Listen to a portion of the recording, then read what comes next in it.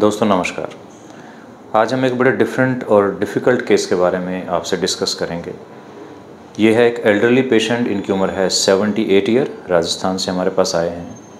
इनको हिप में फ्रैक्चर हुआ है और ये बहुत ही इंटरेस्टिंग केस है और जितने भी फ्रैक्चर्स आप हिप के देखते हैं, उनसे बिल्कुल अलग है। और इसमें बहुत सारे चैलेंजेस हमारे सामने हैं। इनको मल्टीपल डिज़ीज़ हैं, जो कि इस उम्र में आमतौर पर होती हैं। ऑलरेडी पंद्रह दिन से बेड पर हैं बेड सोर्स बन चुके हैं। अब इस केस में हमें क्या करना है? क्या हमारे टारगेट्स हैं? और उसको कैसे अचीव करना है? अब हम इस केस को आपसे डिस्कस करते हैं। इस केस से आपको सीखने को मिलेगा कि इन पेशेंट्स को कैसे हैंडल करना होता है and how a good hip surgeon is required for their early and proper recovery तो ये एक्सरे हम देख रहे हैं इनका। कोइंसिडेंटली uh, कुछ साल पहले इनको राइट साइड में फ्रैक्चर हुआ था इंटरट्रोकेंट्रिक जिसके लिए डीएचएस किया हुआ है। इसके लिए कई महीने इनको बेड रेस्ट करना पड़ा बट अल्टीमेटली ठीक हो गया है। अब इनको इधर फ्रैक्चर हुआ है। आमतौर पर आप देखते हैं कि फीमर का फ्रैक्चर होता है या तो इंटरट्रोकेंटिक एरिया में होता है या नेक में होता है लेकिन इनका ऐसा नहीं है। इनका बेसिकली आप देखेंगे पहले देखते हैं इस साइड को। इसमें आप देखिए ये बॉल है और ये सॉकेट है। दोनों बिल्कुल मैच कर रहे हैं। That means ball is in the socket लेकिन इधर अगर आप देखें सॉकेट यहाँ पर है और बॉल यहाँ पर है। दैट सिंपली मीन्स कि देर इज़ डिसलोकेशन जब ये दोनों कर्व्स मैच नहीं करती हैं तो डिसलोकेशन होती है। और जब भी बॉल सॉकेट से बाहर निकलती है तो इसमें फ्रैक्चर भी होता है। और आप ये फ्रैगमेंट देखिए। ये एक फ्रैगमेंट पड़ा है, ये फ्रैक्चर है। तो एक हड्डी का एक टुकड़ा टूटकर पीछे चला गया है, बॉल भी पीछे चली गई है। तो इसको कहते हैं posterior fracture dislocation of the head अब चैलेंज क्या है कि आमतौर पर इसका ट्रीटमेंट अगर यंग पेशेंट हो तो हम क्या करते हैं? इस फ्रैक्चर को फिक्स करते हैं फ्रैक्चर के जुड़ने के इंतज़ार करते हैं और उसके बाद धीरे धीरे कुछ महीनों में पेशेंट चलना शुरू कर देता है। ये स्टैंडर्ड ट्रीटमेंट है। But now the problem is कि पेशेंट पहले से ही पंद्रह दिन से बेड रेस्ट पर हैं, इनको ट्रैक्शन लगाया गया है और इनको बेड सोर डेवलप हो चुके हैं ऑलरेडी कई सारी डिज़ीज़ इनको हैं। तो अगर इनको हम तीन महीने ऐसे ही बेड पे रखते हैं आफ्टर सर्जरी तो देर आर चांसेस कि ये कभी भी नहीं चल पाएँगे। अब चैलेंज ये है कि इनको जल्दी कैसे चलाएँ?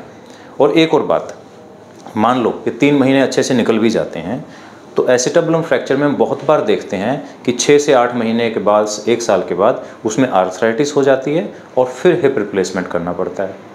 तो 78 साल के आदमी जब 79 80 के हो जाएँगे तो will he be fit enough for a hip replacement तो क्या हमें इनकी दो सर्जरी करनी चाहिए?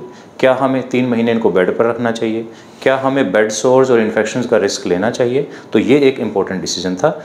एक बार इनका सीटी स्कैन भी देखते हैं तो आप अच्छे से समझ पाएँगे कि इसमें क्या क्या फ्रैक्चर हुआ है। ये राइट साइड है, ये लेफ़्ट साइड है। अब थ्री डी सी टी का बहुत फ़ायदा होता है। ये है थ्री डी सी टी जिसमें हमें ऐसा लगता है कि जैसे हम उस चीज़ को सामने से बिल्कुल अपने हाथों में देख रहे हैं तो ये सामने से देख रहे हैं, अब इसको थोड़ा सा रोटेट करते हैं तो हमारे सामने ये व्यू आता है।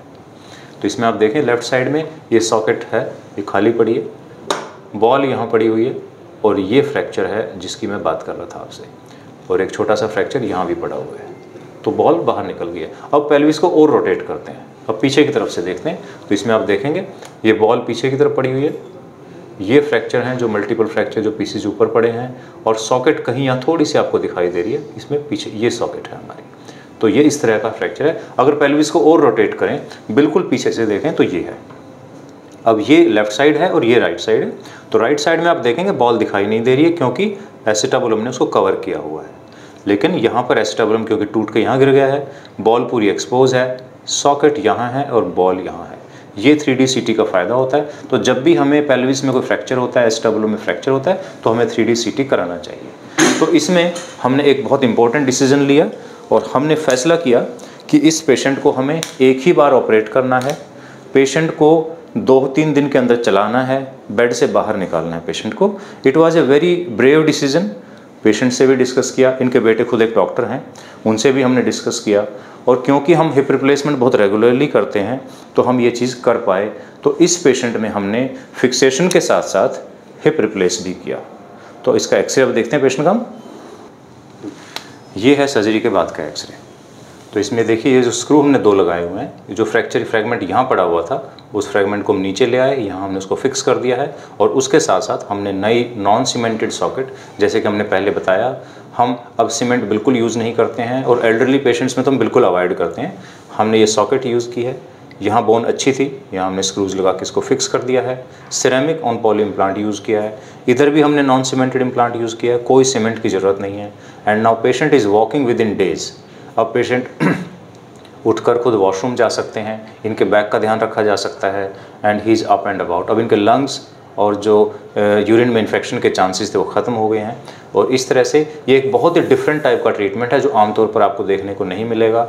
It's a very courageous surgery इसमें तभी की जा सकती है अगर आप रेगुलरली हिप सर्जरी कर रहे हैं। तो ये एक बड़ा अच्छा केस है। तो हमें लगा कि आपके साथ डिस्कस करना चाहिए। इस तरह के केसेस आपके आसपास भी हो सकते हैं।